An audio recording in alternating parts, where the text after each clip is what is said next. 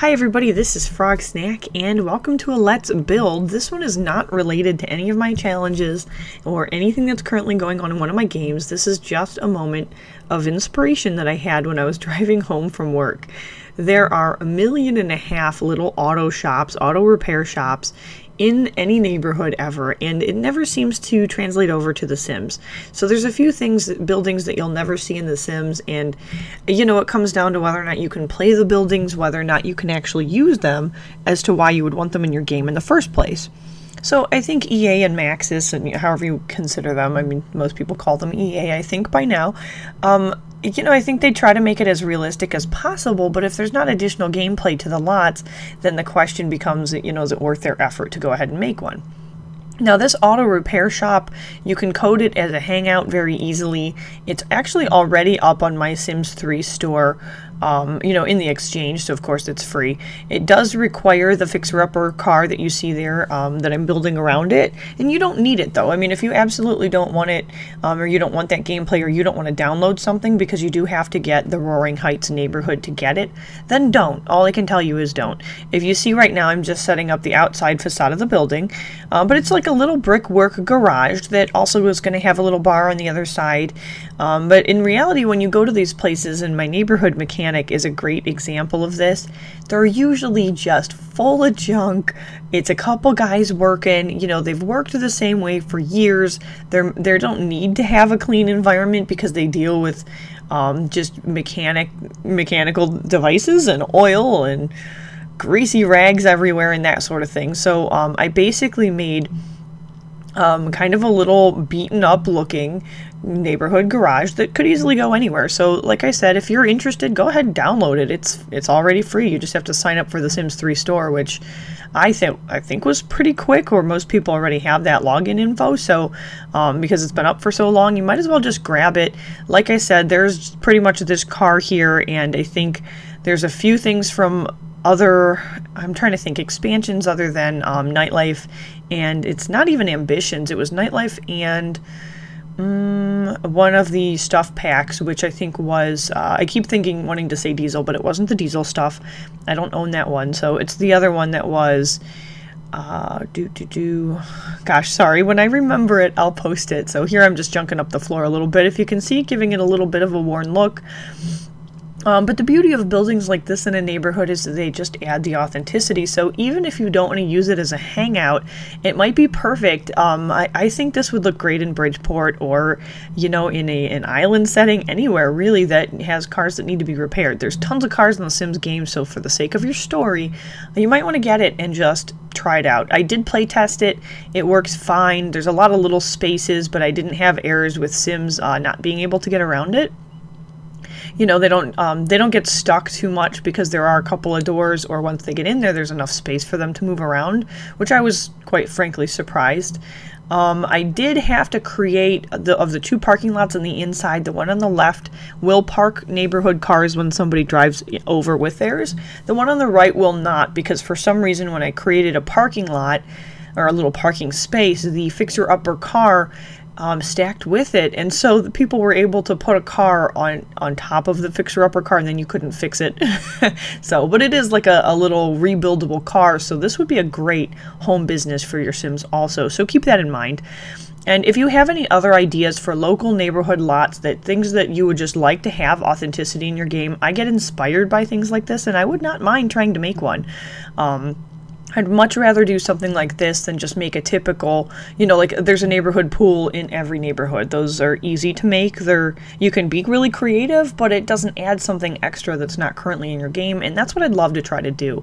Um, another thing that's on my list, which I really haven't tried to set up yet, but it, for the longest time I've wanted to have one, would actually be like a funeral home. Um, it seems like a depressing topic, and yet there's so many funeral homes, and it just would add authenticity to a neighborhood.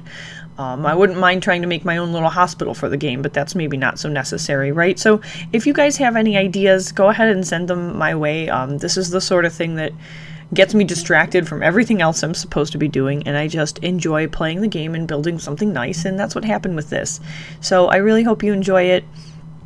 Um, uh, this is, I think, another five times speed build, and um, just was trying to get the brick colors right, and it came out really cute. It actually ended up looking like brick that had been painted over before, so I thought the effect of the wall was great. Um, again, the really sturdy doors. That there's nothing that's supposed to be pretty in here. Now that we, I did add props to that small room and kind of created a reception area, which is nice. But then on the garage side, it's um, yeah, it's very much everything's very stable and there's just garbage everywhere, and I loved it. So it was it was pretty close. I think my neighborhood uh, garage, the one that I've gotten my car fixed at, is more more messy than this, and there's certainly not like a nice, clean, pristine appearance.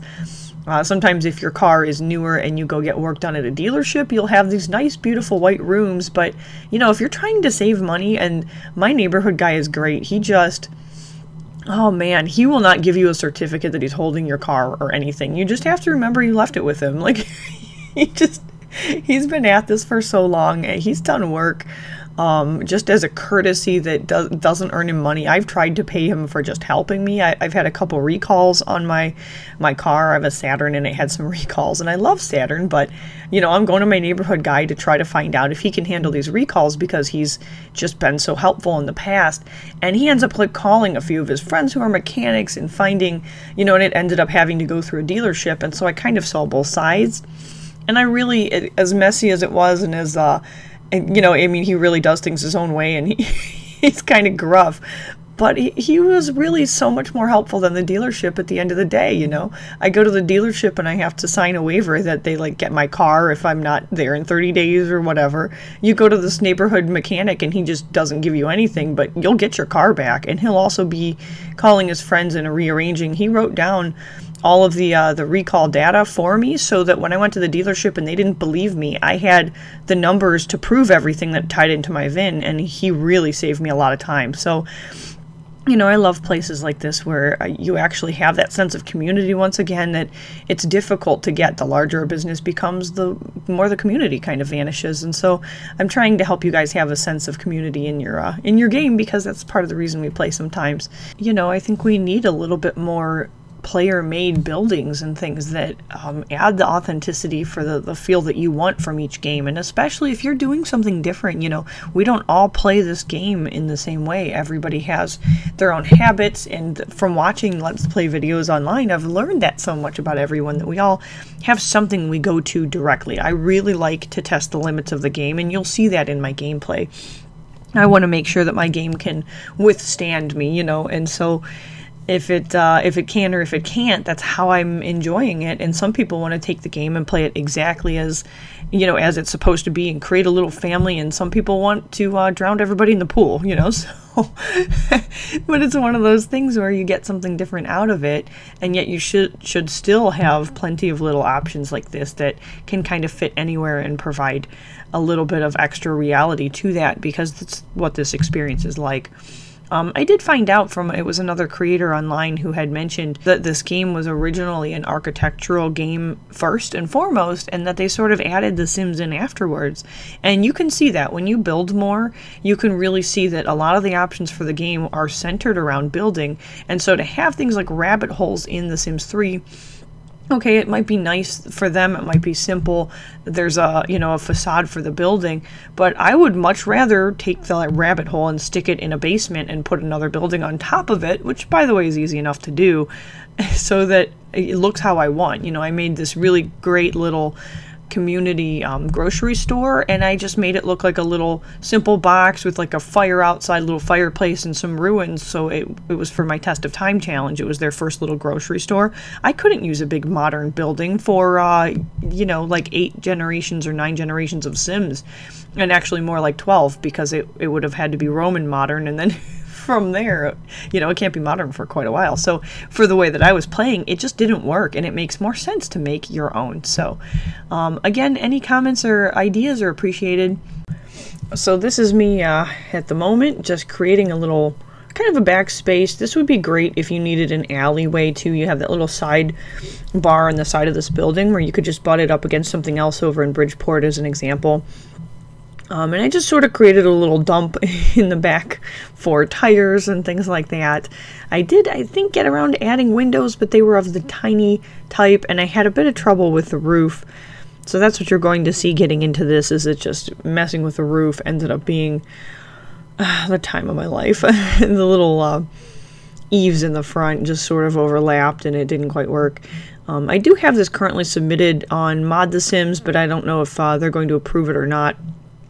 I've submitted a couple buildings to them and I always get frustrated with their submission process, which is why I end up with more things on my exchange. The other videos, by the way, that I had created in advance of this one, um, updating the equestrian floodgate apartments and things like that, those are all on my exchange now too. So I created links in the bottom of those videos so that you could just go over there. And again, this video will have a link to the overall um, what do they call the dashboard that's over there? So my um, my creator studio, I think is what it's called technically. So if you want to go check out the other videos or the other um, lots, sorry, in my studio, it's going to include several ones that I've created videos for now. So I have updated that.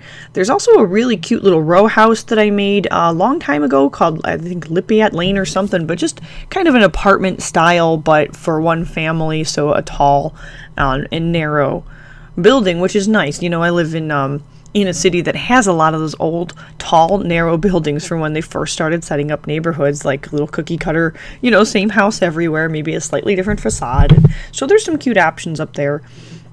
Um, you can tell I'm just kind of working on the decorations for now, and I think half of this video or half of the build was me trying to figure out what goes in the space and uh, I think it came out really great. There is going to be a little, it's a workman's station. It looks like a book, uh, like a bookshelf, but it really doesn't function as one. There are a few items. The workman's station comes with uh, the Stones Throw greenhouse that is Sims 3 store content, just like the car is th Sims 3 store content.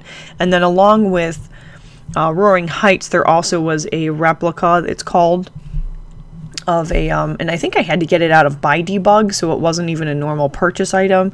So I went into Buy Debug and found parking meter, and so that I used for decoration in the small side. But without the, if you don't want to store content, you're going to miss a parking meter, a little workbench that kind of looks like it has um, some tools and things, but also books, which is nice. It's pretty cute, and uh, you're going to miss the Fixer Upper car. So if you don't have those things and you download it from the Sims 3 store, you're still going to be able to use um, let's see, there's a dartboard.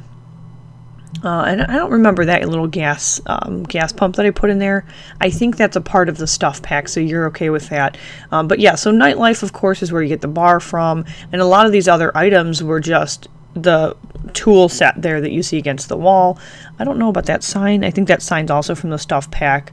So um, yeah, that's where it is. It's mostly from a stuff pack, and then of course from uh, Nightlife, which created a really cool, I don't know if you guys have ever used them in your builds, but a little set of ductwork that ends up in the, the roof over on the side. And I love the ducts, but when you go and play in-game, you end up seeing them everywhere. So you have to place them kind of carefully. So I messed around with that a little bit too. Um, and this worked out really nicely as I think it was just visitors allowed when I play tested it, and the second my sim went in, there were about five other sims showed up. So I have no idea what visitors allowed means to the game, to which uh, sims show up and which traits they have to have. You can also call it a hangout, but I did not test it as a hangout, and this chair was awesome. I just had so much fun with it. Look, I found out that there was a slot on the chair and I don't know why they don't do that because I've seen so many user made like pillows and things that float in midair or they, you know, there, there's no chair slot for a pillow, which just would make so much more sense. So that's what you end up with is a whole lot of detail and extra things for your sim to look at. Um, for additional gameplay, like I said, there's the bar. There is this little desk here that you can have your sim use.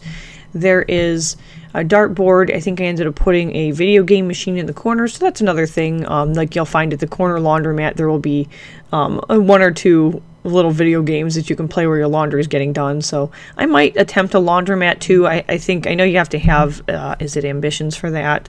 I don't really like laundromats, um, but they're they might be fun to make. So it might be one of those things that to just go in and to try it.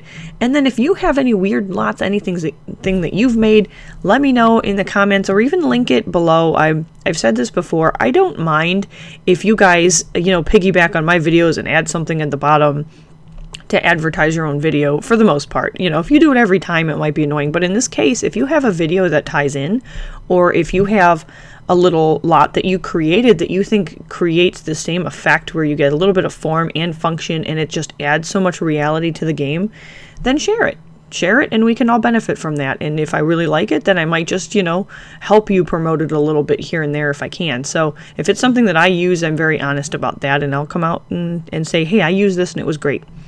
So um, after that, I hope you guys enjoy the rest of the build. I've talked long enough. Um, I hope you choose to get the neighborhood garage for your Sims because again, it's just awesome. It does help if you have the stuff pack. Um, that's where a lot of this clutter came from. If you don't have it, I'm sure you can still find clutter, but I think most of the other things are like kind of this bathroom cabinet I'm coloring. It's bathroom clutter stuff. So you can be creative, but that's what really what made the the lot. And so I would recommend that you have those two, the expansion and then additionally the stuff pack for this. So um, after that, I'm going to go ahead and sign out and let you guys enjoy the rest of the build. Thank you so much and have a great day.